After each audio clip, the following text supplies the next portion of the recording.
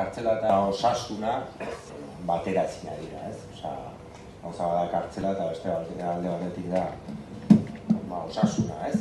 Eta, bueno, hor, hor ematen diren eh, baldintzak ba ez dira bat ere bat ere onuragarriak e, preso gaixo dagoen batentzat, ez?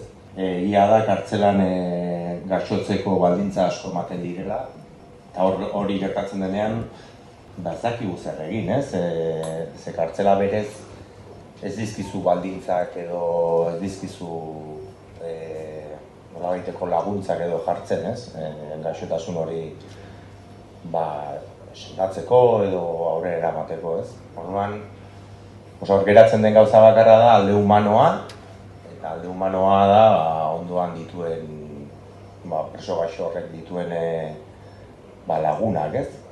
Eta nire kasuan ari ez, e, ni, ni ez naiz aditua, ni ez naiz psikologoa, ez psikiatra, ez ezer, baina, bueno, egokitu zitzaidan olako egoera bat, eta eta olako egoera baten aurrean, ba, ba moldatu bertzea, eta zure zure alde human hori ba, alik eta gehien edatu, eta eta pues, daukazun kide hori ba, lagundu, eta ez dakit ondo egin genuen, ez dakit gu, ze esate izuet, ni ez naiz agitua, ni ez naiz ez dakit ze parametroetan e, ba, ba, funtzionatu behar da olako egoera baten aurrean, baina, bueno, ba, saiatu ginen eta eta egin genuen, ez?